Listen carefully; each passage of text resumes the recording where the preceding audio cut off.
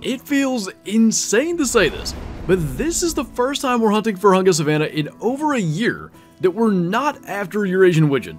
We finally got our diamond the last time we're out here, and I think it's going to be really nice to hunt this map a little bit more freely. We don't have to worry about going from lake to lake to have encounters with Widgeon. We can just kind of let the hunt take us where it may. And I'm looking forward to doing that on this map. It's always been one of my favorites, and now we don't have that one thing that kind of dictates where we go. And it looks like our hunt may begin with a fleeing mythical lion. We've got the 338, and if he can pick a direction here, I think he's actually stuck in there. He was heading left, and I think he's to try to angle back that way, or maybe not. Yeah, he is. What? How did we drop that? That was like a blind shot? It couldn't have been high. That had to be hard. Like, I can't think of any other way that could happen, but that's a good way to get going. We can see the vital blood. So it wasn't as if we somehow got spinal cord. I mean, it could have been top of the lungs and spinal cord, I guess. Oh, that was. That's exactly what it was. I didn't think we were... Eh, I guess it doesn't take a terribly high shot for that to happen. Through the top of the lungs and spinal cord, 47.02. Pretty darn good way to start with the 338. So, after a crazy performance like that from one of our guns, we'll quickly run through the loadout. Got the 338 for our big game today. We're also running it with the 44, mostly because there's Springbuck on this map and it's ethical for Class 3. We do have the 22-250, basically because of the ability to reach out to 300 meters for things like Jackal. And finally, of course, the 22, should we need to alert something next time we go for a shot instead of just blasting it on the run, but maybe we don't need to do that. You know, that may have a real chance. That's a big level 4 Gemsbuck? I think it is one of the common variants, but that is certainly not something you see nearly as often as you used to. So the actual distance there, because the way this grass is, kind of makes it tough. It's actually around 220. The real reason I want to take the shot is because there's lions moving everywhere right now, and I don't want to have a lion spook this. Gonna try to put that right below the spine. Don't need a follow-up spinal cord shot. That looks like it got it through the lungs. We'll see if it ends up being a diamond gemsbuck. It is wildebeest drink time, so going down here to these twin lakes down here is a really good spot for wildebeest. Gonna check those in just a moment, and the nice thing is, we're able to take that shot from far enough out that anything down there should not have heard that. So up to 358, which interestingly enough is actually the maximum possible score for Gemsbuck. Looks pretty good, I think 337 and a half is diamond. That is going to be a 321, so not a diamond, but it is pretty cool I think. Gemsbuck are another one of those species, and unfortunately there's a long list of them, that at one time made diamond super super frequently to the point that even now, when you see a diamond of them, you don't expect it to be a significant trophy or something that's very rare. In my experience at least, diamond Gemsbuck now are crazy rare, and that's why we're going to go for any opportunity we have like that, just in case. I think, for instance, had that been a 338 and just make diamond, I think we'd take down a bigger diamond from the past when they were more common, just because of the rarity. I just saw there he is, a level 5 wildebeest. I guess they're leaving their drink zone? I can't believe it's already 9.30. This time in the server is flying by. But I think that was the smaller horns. Either way, level 5 wildebeest are all guaranteed diamonds so long as we can make the shot, and we do have the 44 to do so. So angle-wise, we can make almost anything happen. Distance-wise, we gotta be- no, wait, there's a crown in there too? Okay, uh, that's the- we can do this, but this is gonna be really, really precise. That's the 5. We're just, just, just at the point where we can actually make this work without spooking the female. But we have to do this perfectly. That's about 240-ish meters.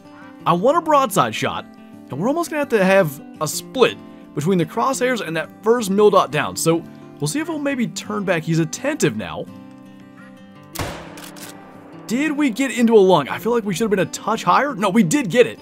Did it spook, though, the crowned female? I don't think it should have, but maybe it actually did, in which case, the, uh, the risk to do that may be not so worth it. Where did that go? Because I will say, it's actually going to be a challenge, and I'm going to guess maybe it did spook her? We don't have her track or anything right now. We got to get her spotted again. Luckily, it's pretty wide open up there. Could have been that one. I know it was a level 2. Yeah, that's it there. So she's alert. Is there a lion there? That would be, I guess, alarm. But a chance at a shot, and again, I'm afraid, no, we got the lungs again.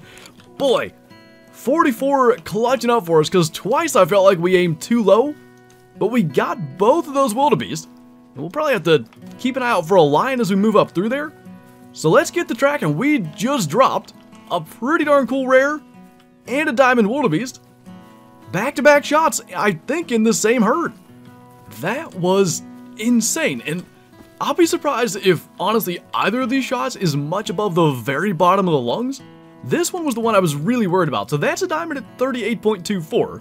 I guess we'll tax it probably for the second lodge. We've got a number of small horns diamond wildebeest there, and it was a double lung. Yeah, that was through the bottom of the lungs, you might say. Had a little extra room, but not much, and we almost hard shot it. Not too bad. That one was a little more rushed because we had to get that shot before we started moving forward again. As for the crown, she should have been actually somewhere up here still. Laying right up here in front of us. No sign of the lion that had her alarmed. But I'm curious then too, that was actually only 170 meters. Still fairly low, shot her through the leg, but a little more wiggle room there. 22.55, a good size crown. We've certainly had smaller ones. So again, maybe something for the second lodge. And I don't know how many times we've said this, probably every time we've ever killed a crowned wildebeest. These things, they look incredible. If the males could have this variation, a diamond crowned? I mean, it's all I'd ever want from Vurhonga Savannah. So, still holding out hope that one day that happens. Never have quite understood why it's not a thing. But every time we see one, I'm reminded of that. Anyway, took a long time to find a decent wildebeest. We are well south of where we were looking at the Twin Lakes, but it was worth coming down here and we just timed it up right. They were leaving their zone right when we got here. Well, I'll be honest, I was kinda hoping for more out of Springbuck in this area. Normally there's a couple of herds of them just out here in the distance, but today, just got one level 3. But the good news is, with that 44 that helped us with the wildebeest, that angle is no big deal, so we'll take that level 3, go ahead and get down and maybe move up in that direction. Gotta think somewhere out there are some more Springbuck. Maybe on this particular server, the zones are just beyond our render. Still not seeing anything popping in. But another bonus kill as we move along, that is a 53 scoring silver. Nothing special, but all the way through, literally hit the tailbone. And just about, had we got the angle right, we literally could have hit the neck. That is insane. And that was, again, one of the reasons I wanted to bring the 44 was fleeing Springbuck, in that case, Springbuck that just happened to be facing away from us, anything like that, so long as we can line the shot up, it will get the vitals. It's got no problem going through an entire Springbuck. So unfortunately, we've got that glitch again with our Retriever where she's just kind of circling around us, and I didn't realize at first, I thought this Jackal was Shadow. It literally ran right past us at like 5 meters. And unfortunately we weren't ready, but I've been wanting to use the 22-250 anyway, the only thing we get to use it for today is Jackal because we have the 44 for Springbuck. Might as well take that down. Should be a gold as a level 7. And I didn't notice it. How did it get that far from where we shot? Maybe it just kind of like fell forward? Because I thought it insta-dropped. It was just a single lung hit from that 22-250 round, but 25.6 scoring gray variant. We will take that, closest thing we'll see to a retriever for the rest of the hunt since she is officially glitched. But it is lion drink time, and there's a level 6 standing right out there, so why don't we make use of our 22, go ahead and alert that, and see if we can get an angle with the 338. I think we're going to stay zero for 300. Right at the bottom of the chest, we're not going to end up with a heart shot. Gotta imagine that is going to hit a lung, and it did. So we get a little two for one coming through here. Now, I never looked at the estimate, but ultimately, gold, silver doesn't really matter, just a little bonus. And I think it's the only second lion we've shot today. The only other one was that very first kill. That was a gold as well. How did we... I guess we're just like low and left of the heart? Looks like we darn near contacted. If the bullet was a millimeter thicker, it might have hit the edge of the heart. Either way, 44 score. And we're just going to continue scooting around. We've been all over this map. It's been a weird hunt as far as Vurhonga hunts go. I feel like we've kind of seen less animals than normal. But even despite that, diamond wildebeest, crowned wildebeest, and a couple of, you know, decent sized animals like that mythical lion we started with. You know, it wouldn't be a hunt on Vurhonga Savannah without at least one Cape Buffalo harvest. Got one out here about 170, and one final chance, I would say, for the 338. So let's shoot this in a gap where we can see. You know, hopefully that punched through. I didn't think of it till, and, and we're fine. But last second there, I kind of thought of it. It's better to be low in the lungs than high in the lungs. With Cape Buffalo, they're just so incredibly tough, and it seems there's just a little easier time for the bullet getting through when you go lower in the lungs. I'm not, do we even hit that? That one's going up to where we shot from, so we got time. We're just going to go down to where we shot that one, and eventually she'll catch up to us. Looking like we'll have to deal with that just before we get to recover the mythical. So I'm going to try to sidestep and get that lower lung shot I was talking about. I don't know why she's going so slow, though. That should be it. So maybe we can compare, and maybe there won't be much of a visible difference in the harvest screen anyway, but at least we can try to take a look. So she's going to drop right there. We can take a peek and see. Low lung, we actually went through the leg too. We're right about the depth of the heart. And again, the leg probably actually slowed it down a little bit. As for the other one, he shouldn't be too far from here. Laying just inside the trees. So I'll be curious to see, and I guess we're shooting down through it, so maybe it's not a fair comparison. What is the difference in penetration here? 145 score, by the way, uh, actually ends up being about the same, right about the depth of the heart. So in that case, it didn't make any difference. But many times I've seen these high shots, 300, 338, like strong calibers, get slowed down even to the point of sometimes not hitting the lung. Either way, a couple of trophies for the second lodge today. We'll jump back and take a peek. And you know, the thing about this lodge is that there's probably been dozens of level 5 like small horns wildebeest that have been placed that eventually get replaced with something else.